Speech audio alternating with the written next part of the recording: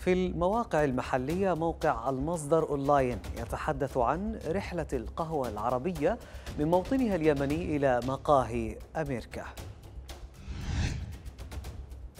وفي موقع البي بي سي في الأخبار المنوعة باحثون يلقون 17 ألف حافظة نقود في الهند لاختبار أمانة الناس.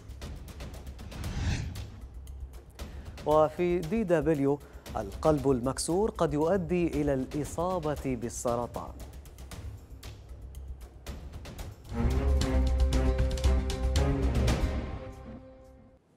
مرحبا بكم. حرموا المواطنين منها وأخفوها داخل المخازن حتى لم تعد صالحة للاستخدام حيث أعلنت ميليشيا الحوثي أنها ستتلف كميات من الغذاء في ريمة وعنون موقع المشاهد نت.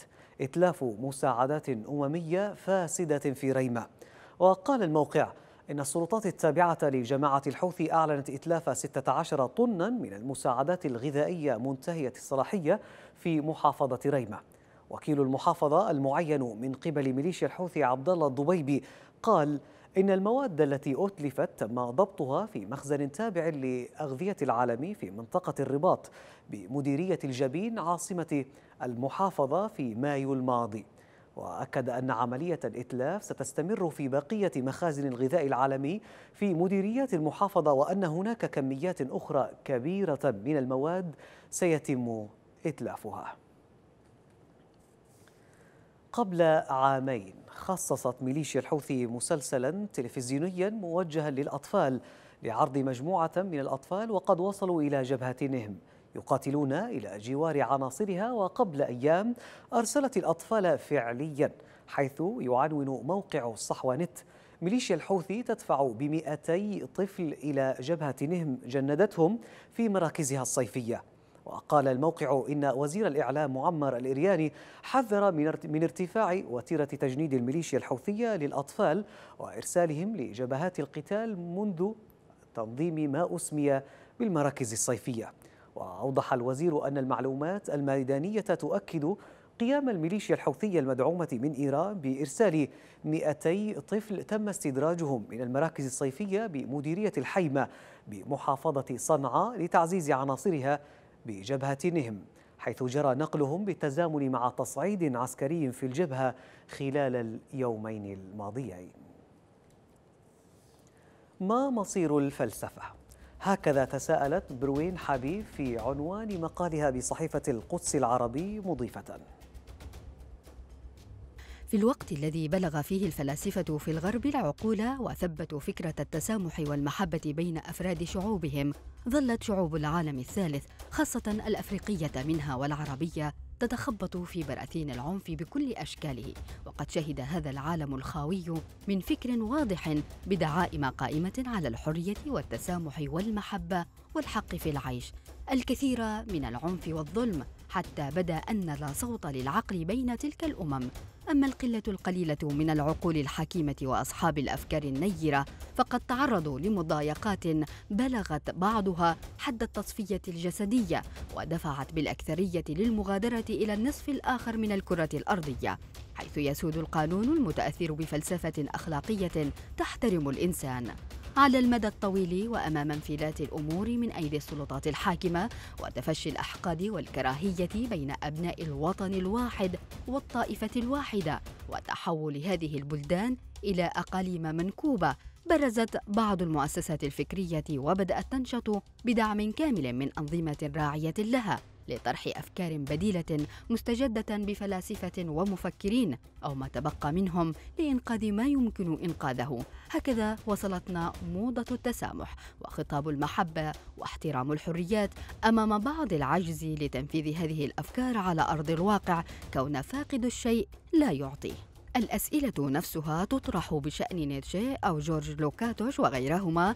نتحدث هنا عن نظريات انتشرت بين الجامعات وتخطت حدود الدول وغيرت أفكار أجيال بأكملها ونقلت الوعي نقلة نوعية ارتفعت بالإنسان من مكانة وضيعة إلى مكانة أكثر احتراما ورسمت معالم الحرية بخطوط واضحة في البيانات العمالية والتعليمية. تتولد أسئلتي انطلاقا من الفراغات التي يفترض أن تملأها الفلسفة في مشهدنا الفكري العربي فلا فيلسوف تمتد أفكاره لا إقناع إلى درجة التأثير في أنماط التفكير الجماعية على الرغم من أن العرب يحبون كثيرا نعوم شوماسكي ويحبون بشكل أقل سارتر وهذه التصنيفات بين ما نحب وما نكره كثيرة لكن أين الجناح العربي من هذه الفلسفة؟ تتفاقم معاناة المرضى في اليمن ويواجه بعضهم الموت جراء سوء الخدمات الطبية في المستشفيات اليمنية. ومن يمتلك القدرة على السفر إلى الخارج لتلقي العناية الطبية تواجهه إلى جانب التكاليف المالية الباهظة. إجراءات سفر وإشكاليات معقدة بسبب الحرب والحصار المفروض على اليمن واليمنيين. وقد خصص موقع بلقيس تقريرا بعنوان المرضى اليمنيون بين مرارة العلاج في الداخل وويلات السفر إلى الخارج. وقال أحد المرضى لبلقيس تنقلت بين العديد من المستشفيات وخضعت لعدد من العمليات الجراحية وأنفقت الكثير من المال آملا في علاج ساقي المتضرر بسبب حادث مروري لكن دون جدوى. يضيف أنه بعد التجارب التي أجراها الأطباء في اليمن على ساقه وبعد الآلام والنفقات التي تجرعها قرر الأطباء البتر. لم أتحمل مرارة الصدمة حينها قدمت طلب استشارة طبية خارجية وأفادوا بأنه يمكنهم ترميم ما أتلف ولا داعي للبتر. ويعاني المرضى في اليمن من صعوبة إيجاد البيئة المناسبة للعلاج خاصة المرضى المصابين بأمراض خطرة أو مزمنة. ففي ظل الحرب والحصار أصبحت المستشفيات تفتقر للحد الأدنى من الأساسيات واللوازم المهمة كالكهرباء. وبسبب الحصار على اليمن تغلق المنافذ أو تغلق المنافذ الجوية أبوابها أمام المسافرين عدا بعض المنافذ الواقعة في مناطق سيطرة الشرعية. يضطر المرضى في بقية المناطق لتكبد مشقة السفر برا وصولا إلى أحد المطارات المفتوحة. يستمع ديف إيج إيجرز الأديب الروائي الأمريكي إلى مختار الخنشلي وهو يروي قصته قبل أن يكتب هذا الكتاب الفريد محاولا من خلاله تغيير الصورة النمطية عن اليمن الذي يعاني الحرب والمجاعة والفقر ونحو 24 مليون إنسان مصنفين على أنهم معرضون للخطر. وعنون موقع المصدر أونلاين. راهب المخا رحلة القهوة اليمنية من موطنها اليمني إلى مقاهي أمريكا. كان مختار وهو يمني أمريكي مسلم نشأ في سان فرانسيسكو شابا لا يهدأ ويناضل للبقاء في ظروف أجبرته على خسارة الكثير من فرص التعليم والوظائف الآمنة وحتى فقدان المال لكنه كان أيضا ذكيا ومدفوعا بفخره الكبير بتراثه وأصوله اليمنية. ويعمل مختار الخنشلي حاليا رئيسا تنفيذيا لشركة خاصة بالقهوة اليمنية. ويروي الكتاب الذي ألفه الأديب الأمريكي قصة مختار الفريدة بدءا من عمله بوابا لعمارة فخمة. فيغوص في تاريخه الشخصي وأصوله اليمنية وأصول القهوة اليمنية في محافظته إب التي تزرع القهوة منذ أكثر من 500 عام. وتدور فكرة الكتاب القصصي حول حابة البن في اليمن الذي شهد صب أول فنجان قهوة. وحتى منتصف القرن السابع عشر كانت القهوة اليمنية غالبا.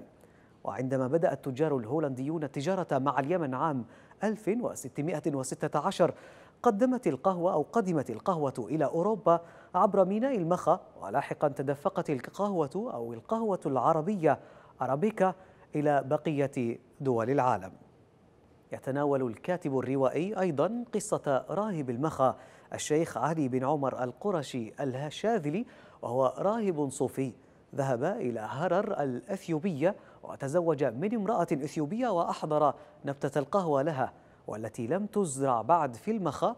اخترع الشراب الداكن المعروف الآن باسم القهوة.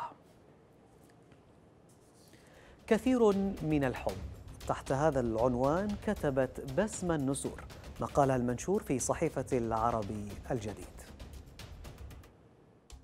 قال نيلسون مانديلا مخاطبا مورديها الكثر في أنحاء المعمورة لا أحد منا يولد وهو يكره الآخرين بسبب لون بشرتهم أو معتقدهم الديني أو انتمائهم السياسي. الكراهية يتم تعلمها فيما بعد وتطلع بذلك السلطات الغاشمة والموروث الثقافي العنصري الذي يتغذى على مشاعر الكراهية المظلمة كي يطيل أمد بقائه.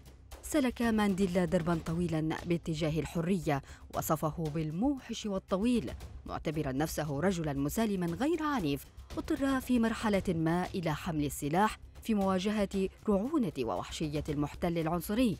وحين قال له آمر السجن بحقد مجاني متوارث أنت وصحبك أكثر الرجال خطورة في أفريقيا على الرغم من أنكم مجموعة حيوانات برية لا بد من سحقها. عاد إلى الرفاق قائلا بهدوء علينا أن نعلمهم أن يحترمونا يحتاج الأمر وقتا ونحن معنا كل الوقت. نال شعب جنوب أفريقيا ما صبا إليه طويلا من عدالة وحرية وحقوق دينية وسياسية كانت حكرا على أقلية مستبدة بفضل قيادة هذا الرجل الاستثنائي الحكيم. ولعل درس الحب هو من أهم وأبلغ الدروس التي تمكن من بثها في أرواح أبناء شعب عانى من شتى أصناف الظلم والقهر والاضطهاد والاستعباد ومصادرة الحقوق والقتل والتعذيب والزج في السجون. والرغبة في الانتقام الذي يطفئ نيران القلوب ويشفي غليل الصدور ولذلك يسمونه بالإنجليزية الانتقام الحلو.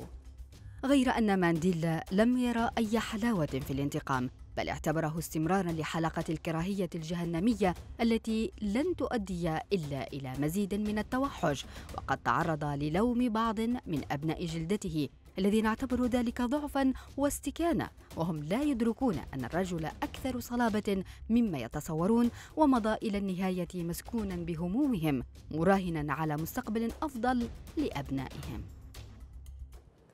رجحت مصادر حكومية يمانية للشرق الأوسط أن الرئيس هادي يجري مشاورات مكثفة مع قيادة الشرعية ورؤساء الأحزاب وهيئة مستشاريه. ومع رئيس الحكومة معين عبد الملك لغرض إجراء تعديل وزاري على حكومة الأخير. ومن المتوقع أن يشمل يشمل التعديل الوزاري إزاحة عدد من الوزراء إلى جانب تعيين وزيرين للخارجية والأشغال العامة وإجراء تنقلات بين بعض الوزراء في وزاراتهم الحالية. ويعزز المعلومات فراغ يشوب حقائب وزارية سيادية وخدماتية أبرزها وزارة الخارجية.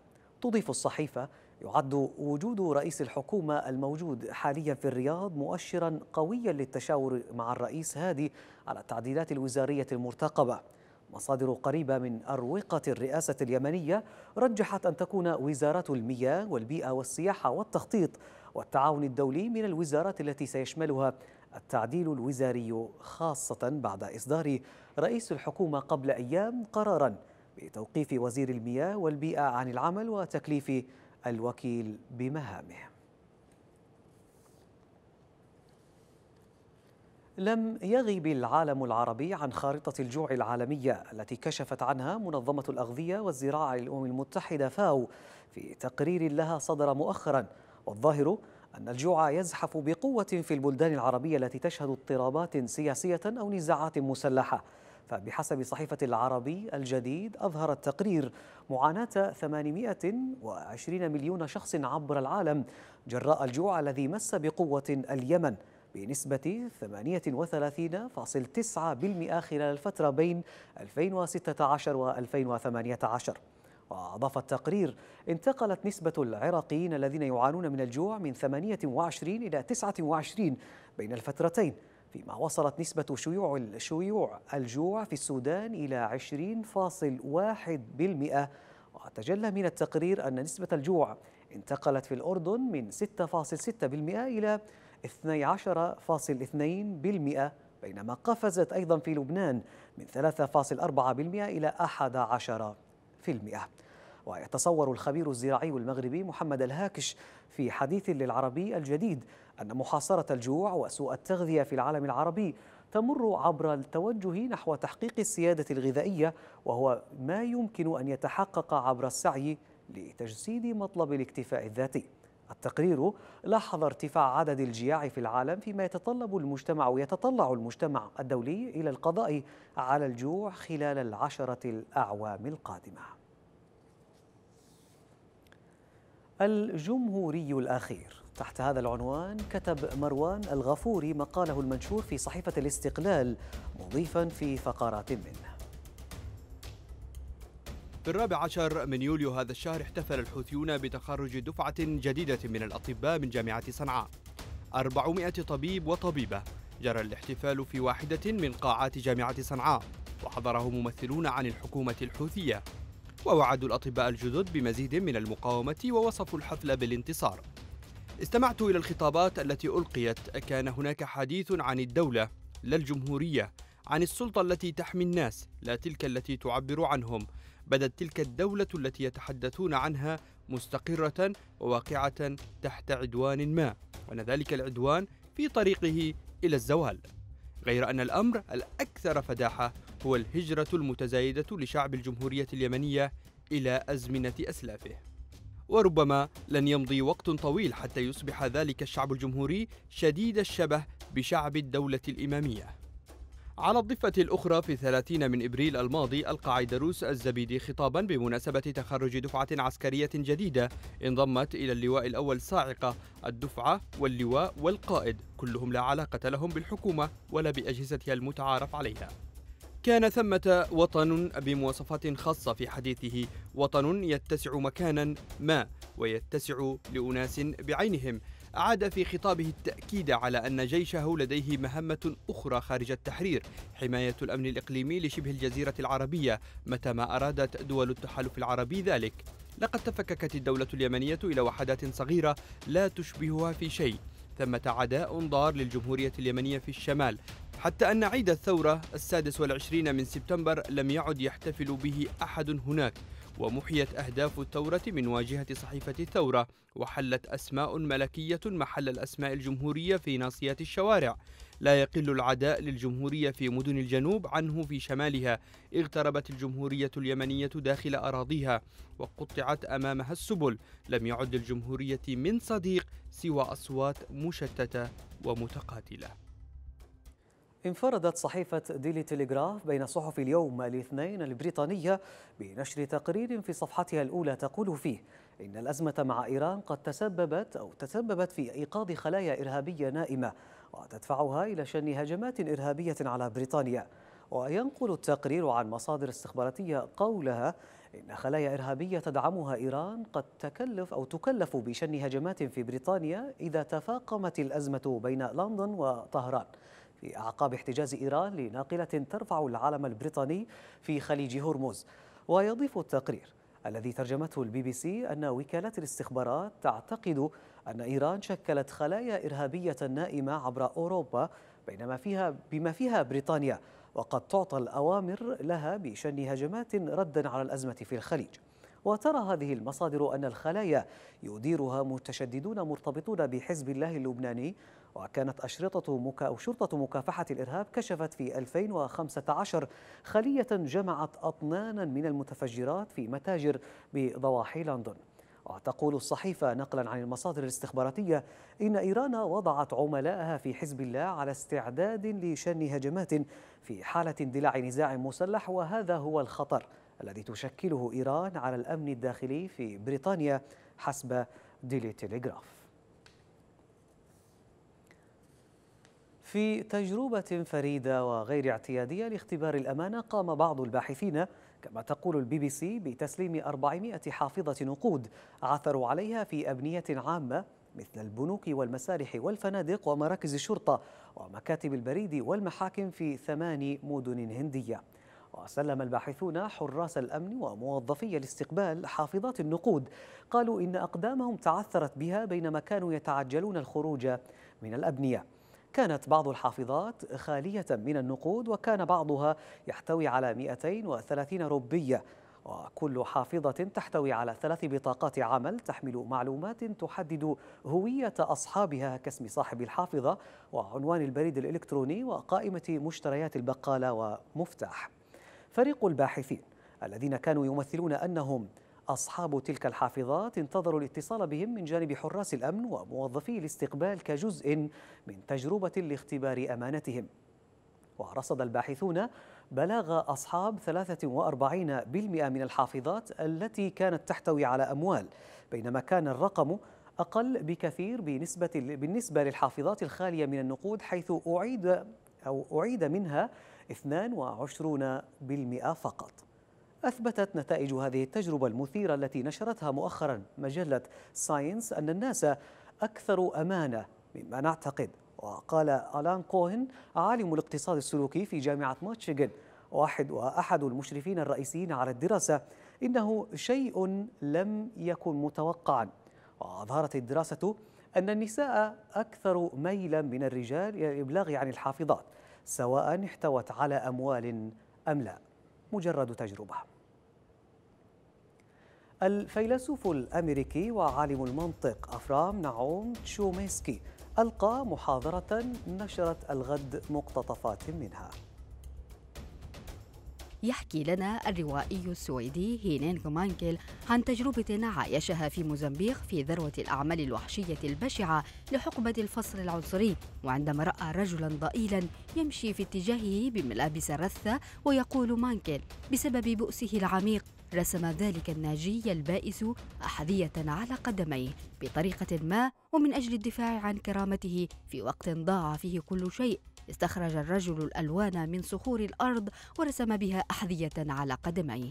سوف تثير مثل هذه المشاهد ذكريات مؤثرة لدى أولئك الذين شاهدوا القسوة والإهانة وأيضا المقاومة المتصاعدة أولئك الصامدون باستعارة المصطلح الموحي الذي استخدمه رجا شحادة في كتابه الرائع عن الفلسطينيين تحت الاحتلال قبل عشرين سنة مضت. مثل الكثير منكم بل في الحقيقة أقل بكثير من العديد منكم كنت قد رأيت مثل هذه المشاهد في جميع أنحاء العالم. على مدى سنوات عديدة ثم مرة أخرى في تشرين الأول أكتوبر الماضي عندما تمكنت من زيارة غزة للمرة الأولى بعد عدة محاولات سابقة فاشلة. وفي استقبالي لدى العودة إلى دياري كانت التقارير التي تتحدث عن أحدث موجة من الجرائم المروعة. هجوم تشرين الثاني نوفمبر الإسرائيلي العدواني بدعم من الولايات المتحدة والتغاضي والسكوت الصاغر من جهة أوروبا. منذ الأيام الأولى كان ينظر إلى العرب باعتبارهم زرعا غريبا في أرض إسرائيل وبأنهم سيكونون سعيدين بالمقدار نفسه في أي مكان آخر من المناطق العربية. وعندما صدر وعد بلفور لاحظ حييم أوزيمان أول رئيس لإسرائيل والشخصية الصهيونية الأكثر إجلالا أن البريطانيين أبلغوا بأن هناك في فلسطين بضع مئات آلاف من الزنوج ولكن هذه مسألة ليست ذات أهمية. وبدوره أبلغ أوزيمان اللورد بلفور بأن القضية المعروفة باسم المشكلة العربية في فلسطين ستكون ذات طابع محلي فقط. إن كنت فقدت حبيبا أو انفصلت عنه وبدأت تعاني من ضيق في التنفس وتسارع في دقات القلب فعليك مراجعة الأطباء لأنك ربما تعاني من متلازمة القلب المكسور. مرض يتسبب بأمراض أخطر. يمكن أن تهدد حياتك. هكذا يقول موقع ألماني شهير مستندا على دراسة توصلت إلى أن القلب المكسور قد يؤدي إلى الإصابة بالسرطان. وقال موقع الدي دبليو. كثيرا ما يقول الأطباء إن سبب الأمراض التي تصيب الناس على اختلافها نفسي ومن الخلل النفسي ينتج مرض يصيب الجسد. ولهذا ينصح الأطباء بالابتعاد عن مسببات الضغوط النفسية. وهناك ما يعرف بمتلازمة القلب المكسور التي تظهر نتيجة خسارة حبيب أو الانفصال عنه أو حتى بسبب الضغوط النفسية والخوف والغضب والحزن وتظهر على شكل ضيق بالتنفس وضغط على الصدر وسرعة أيضا بالتنفس. وأحيانا تتسبب في أزمة قلبية. دراسة من مؤسسة أمراض القلب الأمريكية تربط هذه المرة بين متلازمة القلب المكسور والسرطان الذي يمكن أن يصيب الأمعاء أو الثدي أو حتى الجهاز التنفسي أو ربما الأعضاء التناسلية والجلد. وينقل موقع كورير عن مؤسسة الأمراض أو أمراض القلب الأمريكية أنه لا توجد دلائل حتى الآن حول نتائج الدراسة إلا أن هناك علاقة محتملة. فقد بحثت الدراسة 1604 حالات لأشخاص كانوا يعانون من متلازمة القلب المكسور فوجدوا إصابة 267 منهم بالسرطان. وكان الباحثون في جامعة زيوريخ قد نشروا دراسة جديدة حول هذا الموضوع فقد أظهر التصوير بالرنين المغناطيسي لخمسة عشر مصابا كيف أن مناطق معينة من الدماغ تتواصل بشكل أو مع بعضها البعض بشكل سيء. أكثر من الأشخاص الأصحاء ما يشير إلى احتمال حدوث تغييرات في وظائف المخ قد تكون ذات صلة بمتلازمة القلب المكسور. وأظهرت دراسة في عام 2017 أن معدل الوفيات بعد متلازمة القلب المكسور أعلى بكثير مما كان يعتقد سابقا بل إنها تهدد الحياة مثل النوبة القلبية. الكاريكاتير فن نافس الصورة والخبر حتى أن رسمة واحدة تقول ما لم يقله غيرها في جولتنا لهذا اليوم نستعرض جزءا من ذلك الفن.